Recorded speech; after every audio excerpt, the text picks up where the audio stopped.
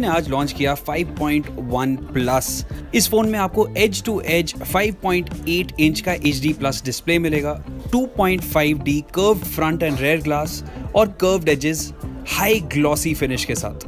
Phone is 8 M mm thin और ये phone secure है अप टू डेट रहेगा क्योंकि इसमें आपको मिल रहा है एंड्रॉइड 1 नोकिया 5.1 प्लस में आपको MediaTek Helio P60 octa core processor मिलने वाला है। इसमें आपको ड्यूअल सिम सपोर्ट मिलेगा थ्री जी बी रैम मिलेगी थर्टी टू जी बी की स्टोरेज मिलेगी और 3060 mAh की बैटरी मिलेगी। इसमें टाइप सी चार्जिंग पोर्ट है और 3.5 पॉइंट mm हेडफोन जैक भी।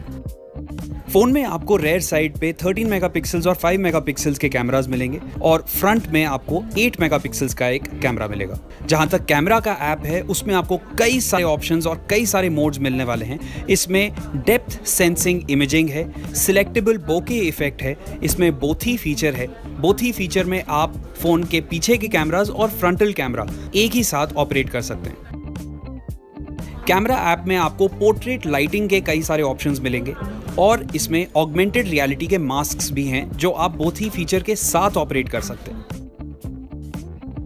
ओवरऑल फ़ोन हाथ में पकड़ा हुआ बहुत ही लाइट फील करता है और इसमें आपको नॉच भी मिलने वाला है। इस फ़ोन का प्राइस फ़िलहाल कंपनी ने अनाउंस नहीं किया है। अगले महीने तक इसका फाइनल इंडिया प्राइस अनाउंस कर दिया जाएगा। ये फ़ोन नोकिया की वेबसाइट और फ्लिपकार्ट अवेलेबल